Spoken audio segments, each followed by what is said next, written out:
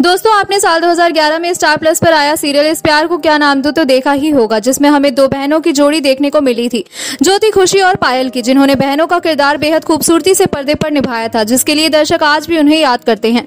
लेकिन दोस्तों, आज सीरियल को प्रसारित हुए पूरे दस साल बीत चुके हैं, और बीते इन सालों में दो बहनें, पायल और खुशी का किरदार निभाने वाली अभिनेत्रियाँ काफ़ी ज़्यादा बदल चुकी हैं। इसलिए आज की हमारी इस वीडियो में हम आपको यही बताने वाले हैं कि आज साल दो हज़ार बाईस में सीरियल में दो बहनों के किरदार में नज़र आई अभिनेत्रियाँ कहाँ हैं, क्या करती हैं और कैसे दिखती हैं। अगर जानना चाहते हैं, आप भी तो जुड़े रहे हमारे साथ वीडियो के अंत तक। तो चलिए वीडियो शुरू करते हैं और जानते हैं, पर उससे पहले आप हमारी वीडियो को लाइक करना ना भूलें।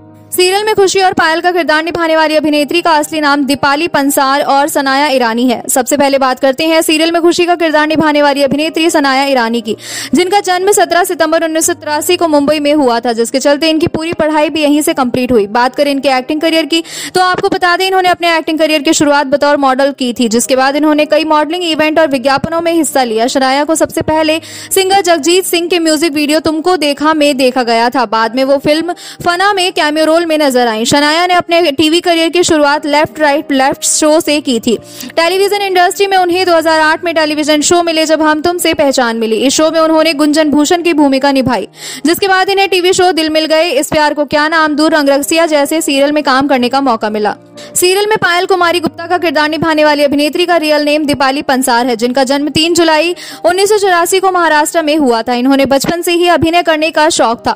बता दें कि ये पहली बार टीवी सीरियल हम लड़कियाँ में नज़र आई, जो कि साल 2008 में प्रसारित किया गया था।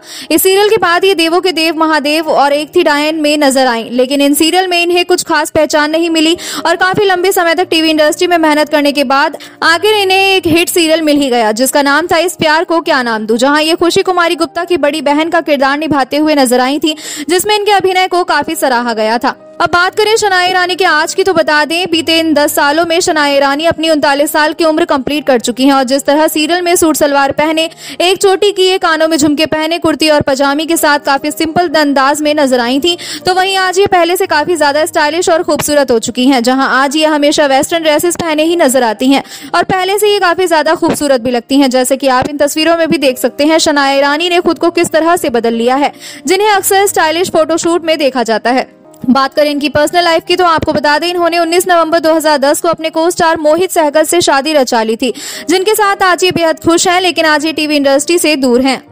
अब बात करें दीपाली पंसार की तो आपको बता दें, सीरियल में हमेशा सूट सलवार पहने, एक चोटी किए, कानों में झुमके पहने, काफ़ी सिंपल अंदाज में नज़र आई थी तो वहीं आज ये पहले से काफ़ी ज़्यादा स्टाइलिश और मॉडल हो चुकी हैं, जैसा कि आप इन तस्वीरों में भी देख सकते हैं।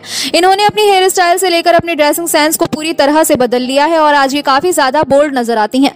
लेकिन इनके सफ़र के दौरान ही इन्होंने अपने बचपन के दोस्त शुरवीर साफिया से शादी करने का फैसला किया, और साल दो हज़ार चौदह में इन्होंने शादी कर ली। शादी के तीन साल बाद इन्होंने एक बेटे को जन्म दिया।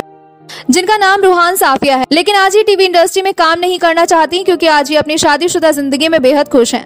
वेल दोस्तों, आप शनाया ईरानी और दीपाली पंसार के आज के बारे में जानकर क्या कहना चाहेंगे? आप हमें अपनी राय कमेंट बॉक्स में कमेंट करके ज़रूर बताएँ। साथ ही टीवी इंडस्ट्री से जुड़ी ऐसी तमाम खबरों को जानने के लिए हमारे चैनल को सब्सक्राइब करना ना भूलें।